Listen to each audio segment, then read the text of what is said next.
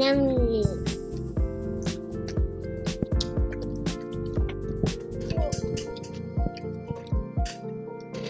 Ừm, banana.